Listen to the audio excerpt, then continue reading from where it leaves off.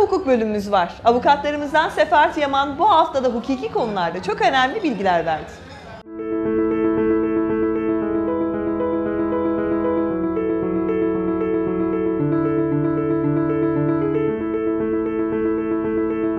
Değerli izleyenler, Londra Mahallesi yeni bir hukuk keşesiyle yine sizlerle birlikteyiz efendim.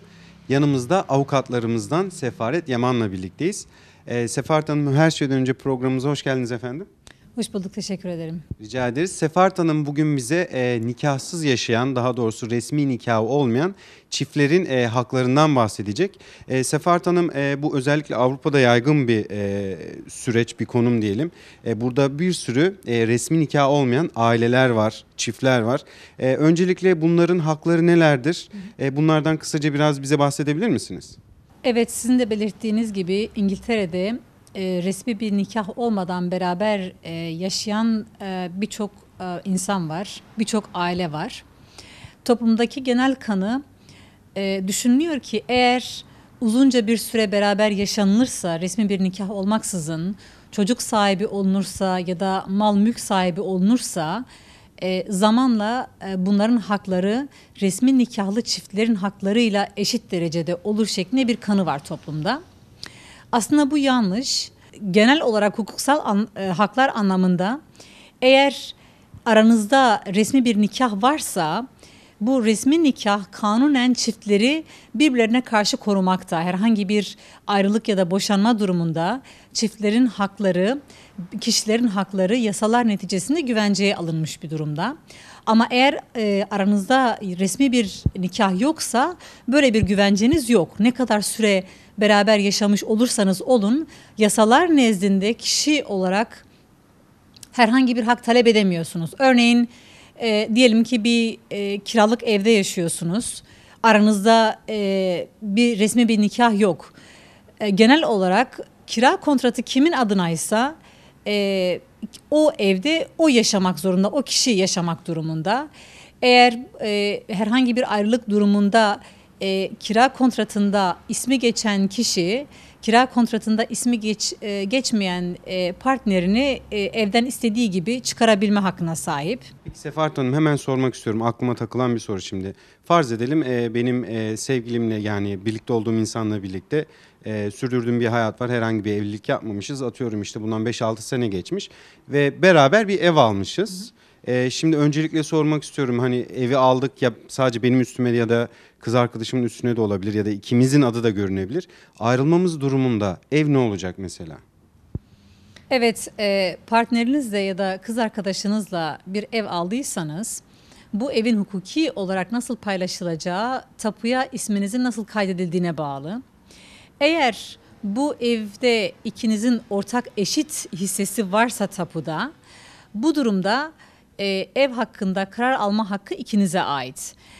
Eğer İkinizden birisi yaşamını kaybederse ve ev ikinizin adına yüzde 50-50 eşit olarak kaydedilmişse aranızda e, herhangi bir resmi nikah olmadığı için birinin payı ötekine eğer eşit olarak kaydedilmişse ötekine geçer. Ama eğer hisseleriniz ayrı olarak yazılmışsa tapuda ve e, biriniz hayatınızı kaybederseniz bu durumda e, hayatını kaybeden kişinin hissesi kendi ailesine geçer. Yani yasal mirasçılarına geçer.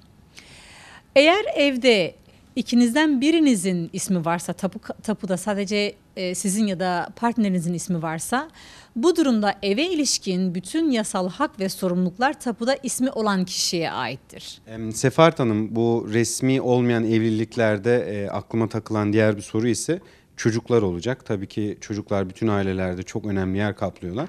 E, yani normal resmi evliliklerde bile özellikle çocuk velayeti e, maalesef anlaşamadıkları durumlarda e, çıkmazları e, gidebiliyor, zor durumlarla karşılaşabiliyor çiftler. E, şimdi bir resmi evlilik de yok. Ee, onun üstüne çocuk velayeti nasıl olacak? Ondan sonra ya da çocuk doğduğunda çocuk soy ismini nereden alacak? Babadan mı alacak? Anneden mi alacak? Çünkü ortada bir resmiyet olmadığı için. Ee, bu resmi olmayan evliliklerde çocukların konumunu bize anlatabilir misiniz? Tabii öncelikle çocuğun e, babası ya da soy ismi e, sizin aranızda yapacağınız anlaşmaya bağlı. E, beraberlik esnasında herhangi bir ayrılık durumu söz konusuysa bu durumda çocuğun velayeti normal nikahlı çiftlerdeki çocuğun velayeti gibi belirlenir. Yani mahkemeye başvurursunuz. Mahkemeden çocuğun velayetinin kime verileceğine ilişkin karar istersiniz anlaşmazlık durumunda.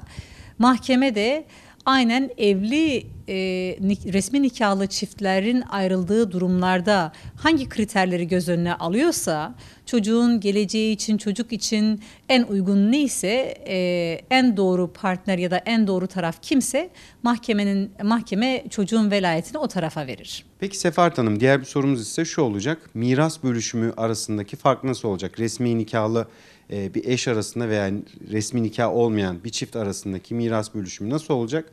E, aile ve çocuklar bundan nasıl etkilenecek? Resmi nikahınız olmadan eğer yaşamınızı kaybettiyseniz sizin üzerinize olan örneğin 500 bin poundluk evinizin çocuğunuza geçebilmesi için çocuğunuzun 70 bin pound miktarında bir vergi ödemesi gerekiyor.